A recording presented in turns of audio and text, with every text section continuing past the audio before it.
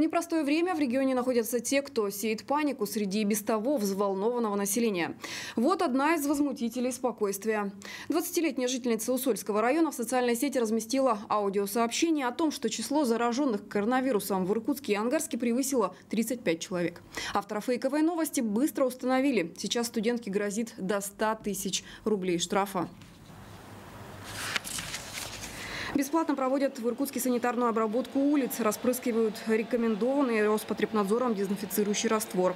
Он безвреден для людей, животных и окружающей среды. Сегодня работают в пешеходных переходах. Накануне обрабатывали остановки на центральных магистралях, а также другие места повышенной концентрации людей.